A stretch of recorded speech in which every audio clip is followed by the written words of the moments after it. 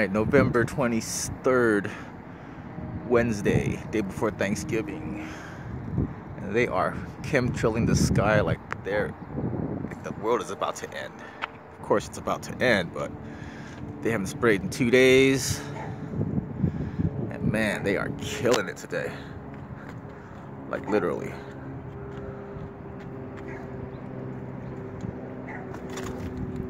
Sorry about that. Shit. It's near LAX.